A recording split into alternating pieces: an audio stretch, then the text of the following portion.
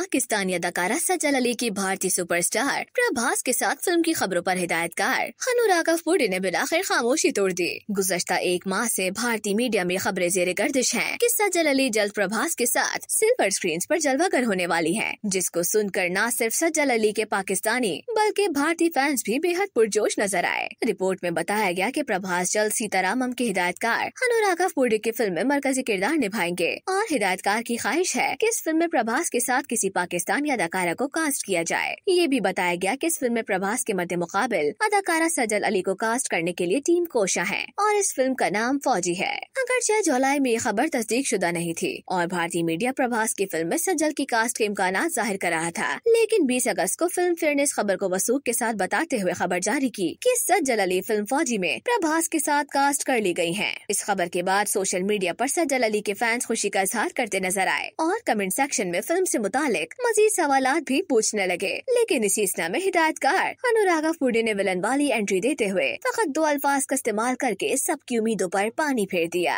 दरअसल इस खबर को Pakistani digital news page something haute ने भी शेयर किया और हिदायतकार अनुराग अफपोडी को भी मेंशन किया। लेकिन कमेंट सेक्शन में अनुराग अफपोडी इस खबर की खुलकर तरदीद कर गए। हिदायतकार अनुराग अफपोडी ने कमेंट सेक्शन में इस खबर की तरदीद करते हुए रॉन्ग न्यूज़ यानी गलत खबर लिखा। सजल अली ने साल 2009 में ड्रामा नादानिया में एक छोटा सा किरदार निभाया था, जो नाजरीन को जैनशीन हो गया। फिर 2011 में तीन सौ सत्ताईस अकसात आरोप मुश्तमिल ड्रामे महमूदाबाद की मलिकाए में एक शोख निडर लड़की का किरदार निभाती नज़र आई, जो सबके दिलों में सज्जल अली को पहचान दिलवा गया। साल 2017 में सज्जल अली बॉलीवुड की दुनिया में अपने नाम का सिक्का चलवाने निकल गई और अनजानी अदाकारा, श्रीदेवी के साथ थ्रिलर फ़िल्म मॉम में उनकी बेटी का किरदार निभाती नज़र आई। प्रभास ने साल 2002 में ड्रामा, ईश्वर से अदाकारी की दुनिया में कदम रखा। और साल 2004 में फ़िल्म वर्षम से फिल्मी दुनिया में एंट्री देकर अपनी खास पहचान बना ली। भारतीय अदाकार प्रभास ने दीगर सुपरहिट फ़िल्मों में भी काम किया जिनमें छत्रपति